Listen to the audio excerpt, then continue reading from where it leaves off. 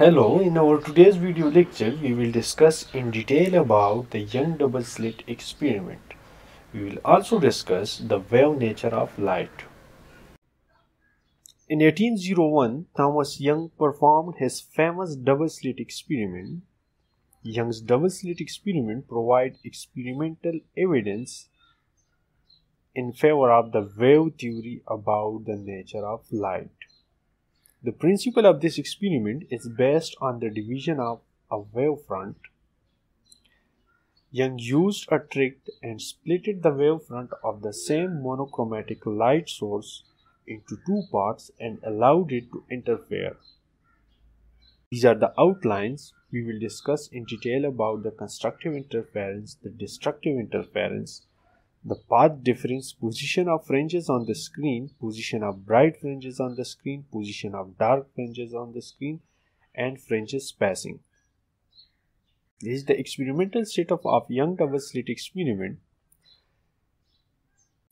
We will use this monochromatic light source and split this monochromatic light into new wavelets. When they pass through slit 1 and slit 2, new wavelets are generated through these slits. The interference of light in Young double slit experiment can be explained using Huygens principle. According to Huygens principle, the wavefront of monochromatic light source act as a source and this generate the secondary waves or secondary wave fronts. Now these two waves will interfere with each other and create the bright and dark fringes on the screen. Something like this. Okay. Uh, here we will explain the interference pattern. This is the slit a this is the slit b this is the point p on the screen. We will determine the distance of these fringes. We will also determine the path difference and other parameters. Okay first we will explain this diagram. Let's suppose this is the point of a fringe on the screen. This is the slit 1 this is the slit 2 this is the center distance between the slit 1 and slit 2 now we will explain the constructive and destructive interference. When two waves are in phase they will constructively interfere and create a bright fringes on the screen. But when the two waves are out of phase, they will destructively interfere and create a dark fringe on the screen. The point P will be bright fringe if the path difference S is an integral multiple of lambda. So when S, this distance S is equal to 1 lambda, 2 lambda, 3 lambda, then constructive interference will happen. But when m is equal to 1 over 2 lambda, 3 by 2 lambda, 5 by 2 lambda, and so on, then destructive interference will happen and we will observe a dark fringe on the screen. Now, the path difference the wave generated from slit B travel distance s longer than the distance traveled by the wave generated from the slit 1. So the path difference between them is BP this is the distance between slit 1 and the fringes at point P minus AP distance between slit 1 and the distance between the fringes observed on the screen. So BP minus AP will be equal to BQ and we name it as S. This S is the path difference between these two waves. Now if the point P is bright fringes, if we observe here a bright fringes, then the path difference will be S is equal to lambda is equal to 2 lambda or 3 lambda because we know that constructive interference occurs only when the waves are in phase. But when the waves are out of phase we will observe destructive interference. So the path difference s is equal to m lambda. Lambda is the wavelength and m is equal to 1 2 3 now for destructive interference s will be equal to the path difference s will be equal to lambda divided by 2 r 3 lambda divided by 2 r 5 lambda divided by 2 and so on. So s is equal to m plus 1 over 2 into lambda where m is equal to 1 2 3 this is the path difference for destructive interference. Now we will use this small triangle to determine the S using trigonometry. From this triangle, we know that this is a right angle triangle. This angle is 90 degree. We will determine the value of S as look at here to this triangle. This is the theta on the A side this is AQB. So according to trigonometry, we know that sine theta is equal to perpendicular divided by hypotenuse. In this triangle, you see this is S which is the perpendicular and this D is the hypotenuse. We can write this as sine theta is equal to S divided by D. Now by multiplying both sides with d, we will note that s is equal to d sine of theta, where the d is the distance of separation between the slit A and slit B. Now we have a second equation s is equal to d sine of theta. Now we know we have these three equations which is 1 s is equal to m lambda for constructive interference, S is equal to m plus 1 over 2 lambda. For destructive interference, and S is equal to d sine of theta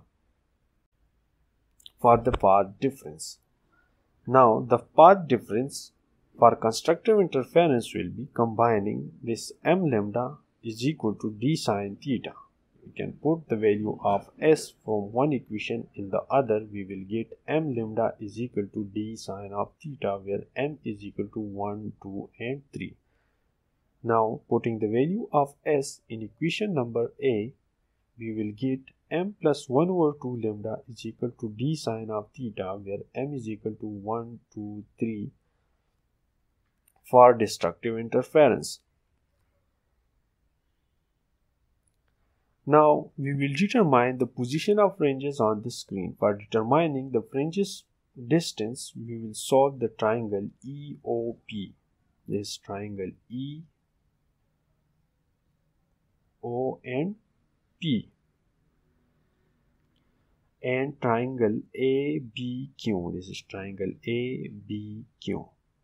By taking ratio of y component with the y component and hypotenuse with the hypotenuse from these two triangles we will determine we will divide the y component of this small triangle by the y component of this triangle. Here the y component is y and in this triangle the y component is denoted by s. So s by y is equal to the hypotenuse here is b or ab AB divided by PE where P this is P and this is E. So AB divided by PE we have this new equation. Now we will use here a simple supposition where y is the position of the fringes on the screen. This y is this position on the screen. In actual experiment, y is much much smaller than L. This L is much much larger and this Y is much much smaller than this L. And PE is nearly equal to EO. Now using this supposition, this PE is nearly equal to the EO and EO is the length between the slits and the screen. So EO is equal to L. Putting the value for AB and PE, PE is equal to L and AB is equal to D, we will get 1 over y is equal to d into s into pe where y is equal to s into pe divided by d. Now putting the value for pe we will get y is equal to l into s divided by d. Now we will determine the position of the bright and dark fringes. Now we know that y is equal to ls divided by d where y is position of the fringes, l is the length between the screen and the slit, s is the path difference, d is the distance between the two slits. For m bright fringes, putting the value of s for constructive interference, which is s is equal to m lambda and m is equal to 1, 2, 3 and so on, we will get y m bright is equal to m l lambda by d. This y m bright will be the position of the bright fringes on the screen, where for dark fringes, we will put the value of s is equal to m plus 1 over 2 lambda which is for destructive interference and we will get ym dark is equal to m plus 1 over 2 into l lambda by d. Now the spacing between the fringes in case of bright fringes the distance between first and second order bright fringes will be equal to what ym is equal to 1 for first order y is equal to L into lambda by d and put m is equal to 2 for the second order fringe. So putting m is equal to 2 we will get y2 is equal to 2L lambda by d. Now we will minus y1 from y2 to determine the fringe spacing. So 2L lambda by d minus 1L lambda by d, we will get L lambda by d. This is the spacing between the first and second order bright fringes. In case of dark fringes, the distance between the first and second order dark fringes is, we will use this equation to determine their position. We will put m is equal to 1 for first order and m is equal to 2 for second order dark fringes y1 is equal to 1 plus 1 over 2 l into lambda divided by t which is equal to 3 by 2 l into lambda divided by t. Similarly, y2 is equal to 2 plus 1 over 2 into lambda l divided by d. So is it 2 plus 1 over 2 l into lambda divided by t which is equal to 5 by 2 l into lambda by d.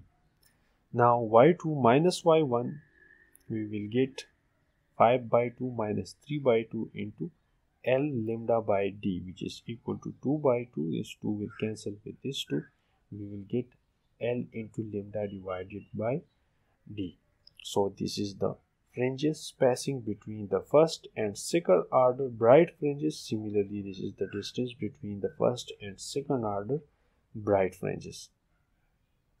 Thank you for watching and don't forget to subscribe easy edu for more videos